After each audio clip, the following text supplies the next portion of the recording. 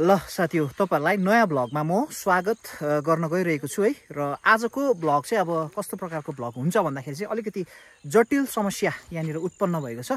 यो जग्गा चाहिँ कहाँ हो भन्दाखेरि चाहिँ तपाईँको सेरिकल्चर पेदोङदेखि अलिकति माथि आएर सेरिकल्चरको अलिकति अझै छेउछाउमा हो एक्काइस माइल नै भनिन्छ है।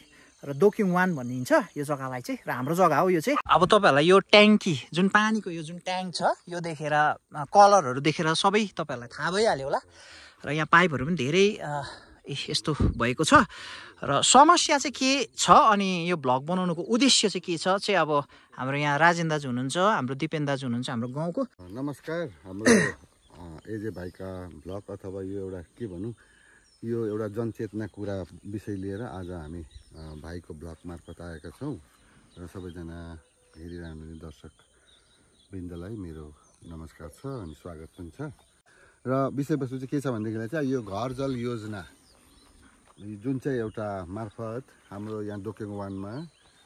पानीको व्यवस्था भएर यो वितरण गरिने ट्याङ्कीहरू जुन चाहिँ बनाइएको थियो मेन ट्याङ्कीहरू पनि छ अनि यस्तो वितरण गरिने थुप्रै ट्याङ्कीहरू छ।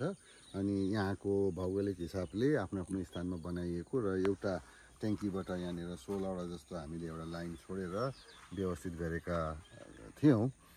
जुन चाहिँ चाहिँ अब एउटा एजेन्सीले अहिलेसम्म काम गरिरहेका थिए र यो अहिले हामीले ह्यान्डलबर गाउँलाई ह्यान्डलबर पनि भएको छैन।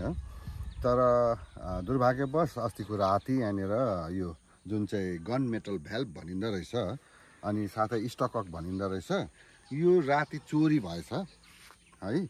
र हामीलाई एकदमै दुःख लाग्यो एउटा पानीको जस्तो चिजको पनि कुनै उपद्रवले गरेको हो या त कुनै चोरले यस यसबाट पैसा कमाउनको निम्ति गरिएको यो विषयवस्तु हामीले बुझ्न सकेका छैनौँ तर यसको तत्काल हामीले हाम्रो एजेन्सीलाई हामीले भनेर यसको एउटा जिडी एफआइआरहरू गरिदिनुहोस् भनेर हामीले उहाँलाई निवेदन गरिसकेका छौँ। सायद यो एफआइआर जिडी पनि भइसकेको छ होला पेदोङमा।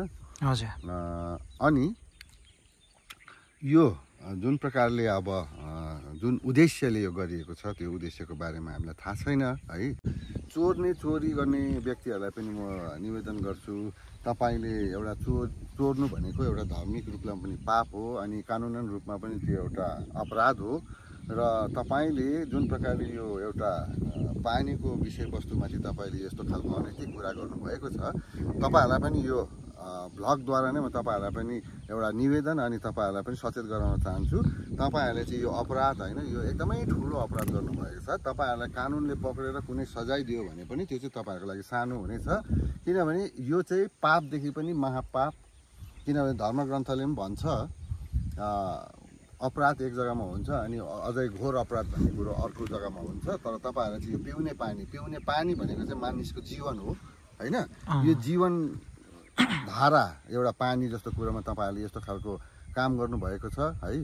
र तपाईँले यो तपाईँ साक्षी तपाईँलाई पुलिसले पक्रेर कुनै साक्षी हुन सकेन भनेदेखिलाई पनि तपाईँ लुक्नु सक्यो छिप्नु सक्यो भने पनि पनि तर तपाईँलाई ईश्वरले माफ गर्ने छैन। यो कुरा चाहिँ तपाईँहरूले बुझ्नुहोस्। किनभने यो कुरा चाहिँ तपाईँ लुकेर छिपेर बस्नुभयो भने पनि तपाईँको आउने भावी पिँढीमा चाहिँ यो कुरोले चाहिँ तपाईँको परिवार अनि तप तपाईँको आउने भावी पिँढीमा चाहिँ यसको परिणाम चाहिँ तपाईँले भोग्नु पर्नेछ भनेर चाहिँ म यो ब्लगबाट भन्न चाहन्छु। किनकि यहाँनिर पानीको असाध्यै दुःख छ। अब यो घर जल योजनाद्वारा कहीँ कतै हामीले अलिकति भए पनि पानी पाउन सक्छौँ भन्ने एउटा आशावादी गाउँ आशा मात्रै भर्खर सुरु हुँदै थियो। होइन? तर तपाईँहरूले यस्तो खालको काम गरिदिनु हुँदाखेरि चाहिँ हामीलाई दुःख लाग्यो। साथसाथै यो भ्लगद्वारा चाहिँ म यो ट्याङ्कीमा मात्रै होइन हामीसँग यहाँनिर तिन चारवटा उयो छ। यो ट्याङ्कीहरू छ है? गरिने ट्याङ्की छ। यहाँ पल्लो गाउँमा पनि छ। त्यहाँ पनि त्यस्तो भएको छ भनेर उहाँहरूले पनि हामीलाई भन्नुभएको छ।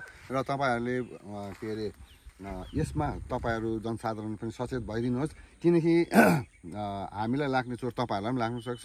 आजको भ्लग बनाउने उद्देश्य पनि त्यही हो विशेष गरिकन अन्य ठाउँतिर पनि यो घर जल योजना छ ले यसरी ट्याङ्कीहरू बनिएको छ। र यसलाई हामीले सुरक्षित राख्नको निम्ति हामीले ताला चाबी लगाउने एउटा जुन चाहिँ एउटा फलामको बक्स बनाउने एउटा निर्णय है? निर्णय लिइसकेका थियौँ तर अब त्यो गर्नुभन्दा अगाडि नै यस्तो बेहाल गरिदिएछ होइन?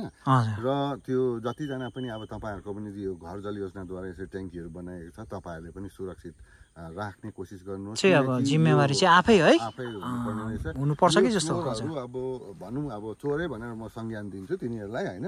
यो चोरहरूले आज यहाँ गरेको छ भोलि तपाईँहरूकोमा पनि गर्नु सक्छ। गर्न सक्छ। किन हाम्रोमा चाहिँ अलिकति यहाँ अब हामी जागरुक भयौँ है। र राजेन दाजु बोल्दै भए पनि राजेन दाजुलाई म एकछिन उयो गरेर है हाम्रो दिपेन दाजुलाई अ, भ्लगमा स्वागत गर्न चाहन्छु। दिपेन दाजु यो हराएको जुन भन्दैछ नि यो चाहिँ कहाँनिर यो कनेक्सन के के चाहिँ हराएको यो? अलिकति हाम्रो टोटल हराएको चाहिँ अहिले अनुमान लाउँदाखेरि यसमा पचासवटा तिनवटा ट्याङ्कीको लगभग पचास पचासवटा। हराएको? हराएको छ। ट्याङ्कीमा पानी छ तर अब यहाँ पानी छ है? पानी एकदम भरि छ है। अब खालि हामीले यसलाई अब छोड्नु मात्रै बाँकी थियो। छोड्ने बेलामा चाहिँ यस्तो यो दोकिङवान क्षेत्रमा नि दिपेन दाजु यो यो ट्याङ्की भयो एउटा। अरू कहाँ कहाँ चाहिँ हराएको छ यो? यो एउटा त यहाँ माथि छ है स्कुलदेखि अलिक माथिल्लोपट्टि हजुर।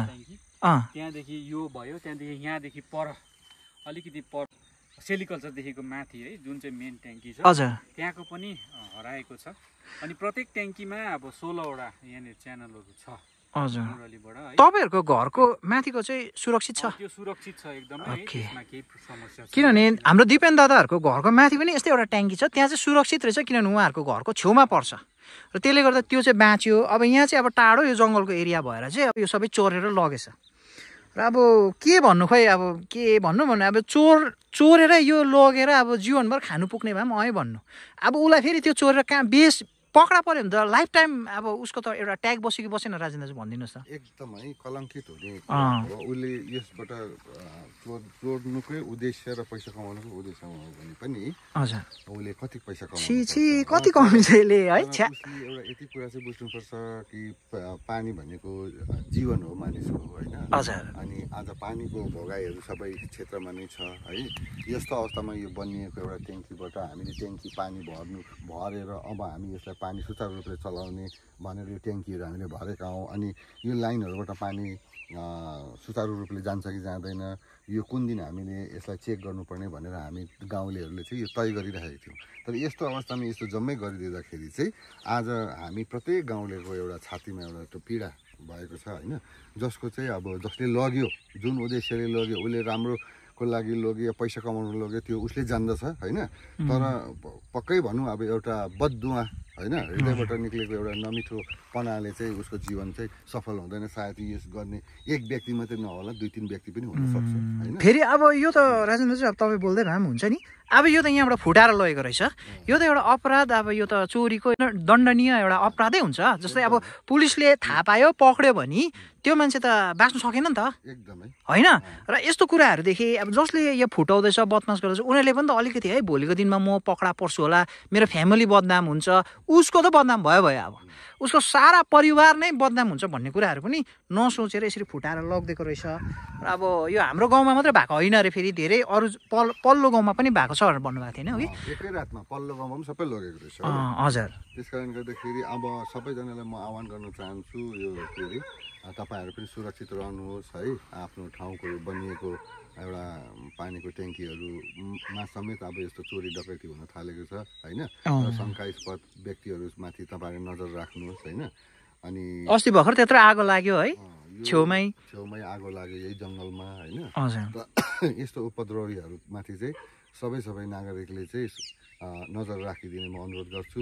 साथसाथै भविष्यमा यस्तो घटना नघटोस् अनि हामीलाई जहाँसम्म लाग्छ हामी यो चोरलाई फेला पार्न सफल हुन्छौँ होइन? हामी पनि मान्छे राख्छौँ अब है? त्यस कारणले गर्दाखेरि चाहिँ विशेष विशेष अब यस्तो घटना नघटोस् भनिकन चाहिँ म सबै सबैलाई तपाईँहरू पनि सचेत बसेर आफ्नो जग्गाको आफ्नो आफ्नो ट्याङ्कीको है सुरक्षा गर्नुहोस् अनि मेरो आफ्नै गाउँले वासीहरूलाई पनि म आह्वान गर्न चाहन्छु। कतिजनालाई अहिले थाहा पनि पाएको छैन। सबैलाई पनि यही ब्लक मार्फतबाटै उहाँहरूलाई पनि म जानकारी गराउन चाहन्छु। हाम्रो अहिले ट्याङ्कीको हालत चाहिँ यस्तो भएको छ।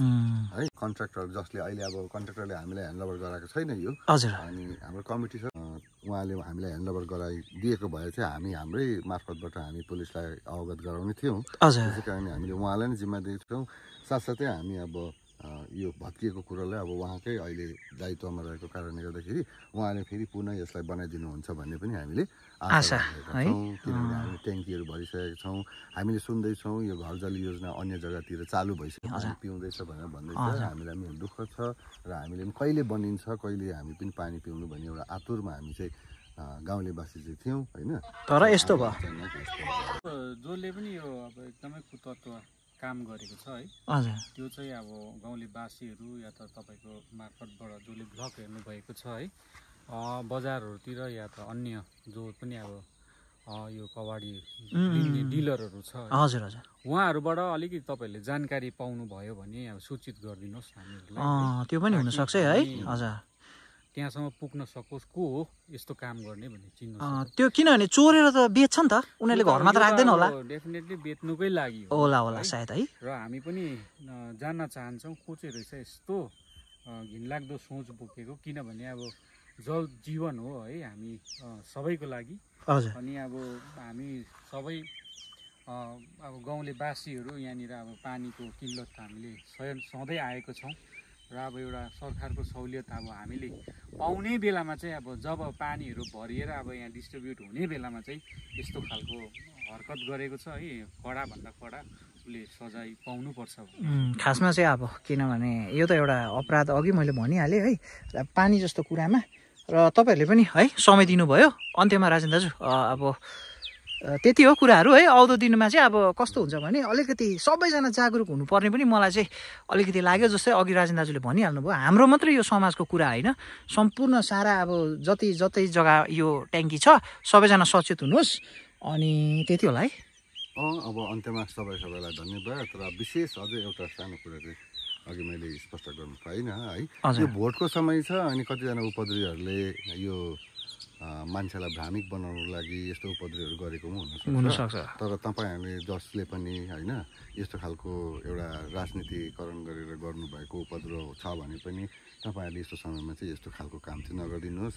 पानी जस्तो पिउने पानी जस्तो के कुरोमा तपाईँहरूले खेलाइँची नगरिदिनु र विशेष हाम्रो एजेन्सीलाई पनि हामी निवेदन गरिसकेका छौँ। उहाँले सायद भनिसकेपछि सायद प्रशासनले पनि यसको निरीक्षण गरिदिनुहुन्छ अनि उहाँहरूले आफ्नो कार्य पुरा गरिदिनुहुन्छ भन्ने आशा राखेका छौँ। हजुर। र यस्तो उपद्रवहरू दिनदिनै बढ्दै जाँदैछ अनि प्रशासन पनि अलिक प्रशासनले पनि अलिक कडा रूप लिएर यसमाथि पहल गरिदिनु भए चाहिँ हामी गाउँवासी सबैजना धन्यवादी हुनेछौँ। र सबै सबैलाई अन्त्यमा धन्यवाद।